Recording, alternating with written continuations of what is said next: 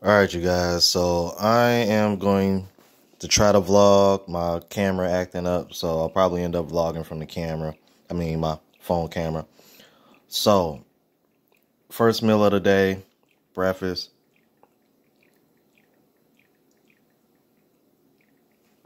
Eggs, turkey bacon, oatmeal.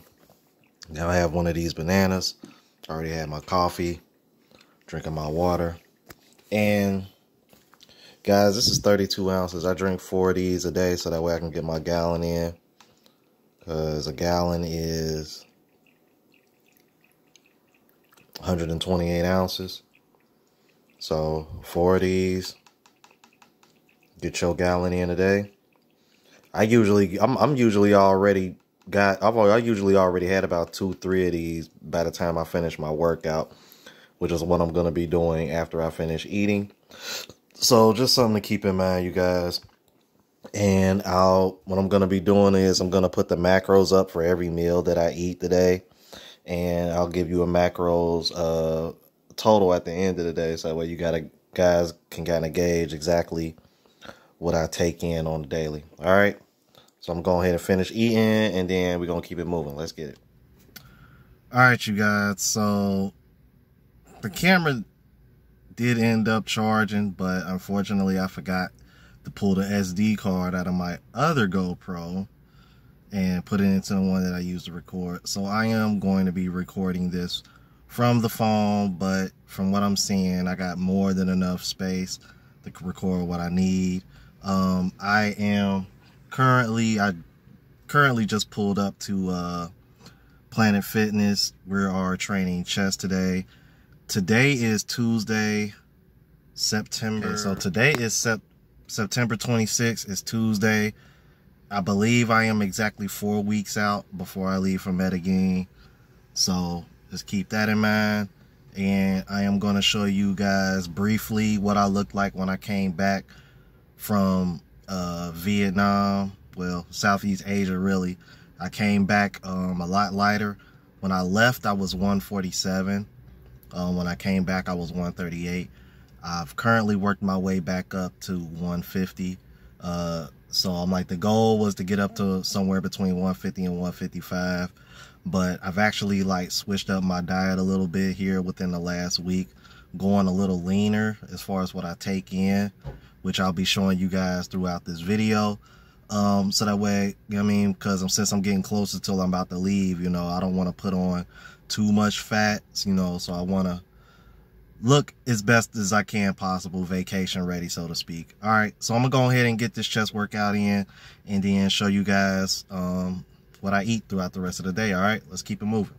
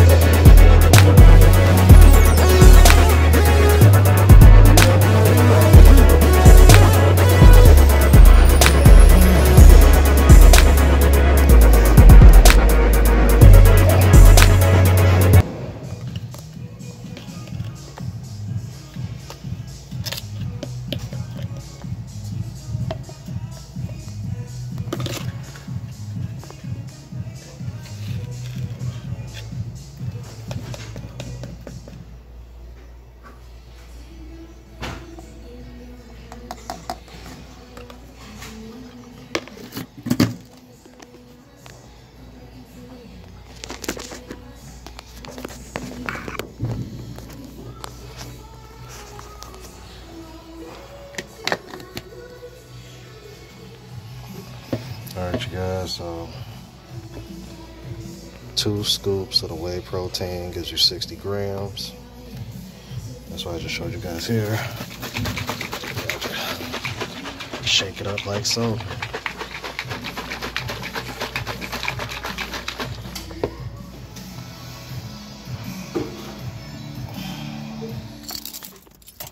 All right, you guys, so that concludes our chest workout. All right, that concludes the chest workout.